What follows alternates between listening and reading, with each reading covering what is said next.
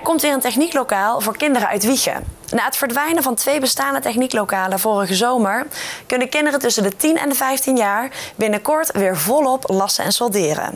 Op het terrein van Modderkolk aan de Nieuwe Weg wordt nu flink geklust aan een nog groter technieklokaal. Jarenlang konden Wiegse basisschoolleerlingen alvast proeven van de techniekwereld. In het gebouw van basisschool Het Zuiderpad stonden namelijk twee technieklokalen. Hier konden kinderen allerlei technische dingen doen, maar vorig jaar verdween het plotseling, tot grote verbazing van de betrokkenen. Nu komt het technieklokaal in Wiegen terug. En daar zijn ze blij mee bij de gemeente. Nou ja, wij zijn eh, heel erg verblijd dat het eh, technieklokaal er weer terug gaat, eh, gaat komen. En waarom? Omdat we de jeugd zo graag mogelijk, zo vroeg mogelijk in aanraking willen laten komen met alles wat technologie behelst.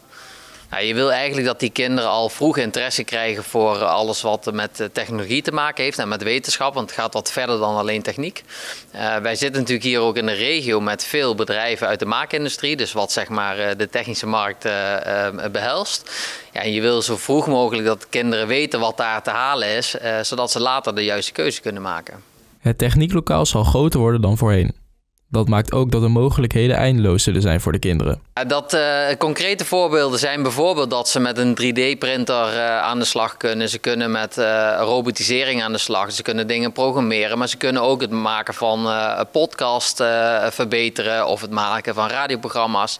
zelfs een greenscreen, dat zal jullie ook wel wat zeggen, maar dat is een, een wand waar je op beeld zeg maar wat achter kunt projecteren, zodat je ook met videotechniek aan de gang kan. Dus het is echt heel breed. Ja.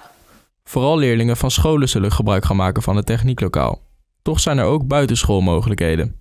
Ja, het, zit, uh, het is een beetje tweeledig. Het is voor scholen uh, in principe gebouwd. Dus uh, kinderen van 10 tot 15 jaar kunnen daar terecht. Dat geldt zowel voor primair, dus lagere schoolonderwijs, als voortgezet onderwijs. maar het kan ook buiten de schooltijden worden gebruikt voor bijvoorbeeld een Lego League of met de techniekdag die we één keer per jaar in Wieg hebben. Dus het is ook buitenschools te gebruiken. En het volledige programma zijn we nog mee aan het schrijven. Maar primair zeg maar voor de kinderen op school, maar secundair ook voor eh, kinderen die buitenschool wat willen doen met techniek. Het technieklokaal zal naar verwachting vanaf september beschikbaar zijn.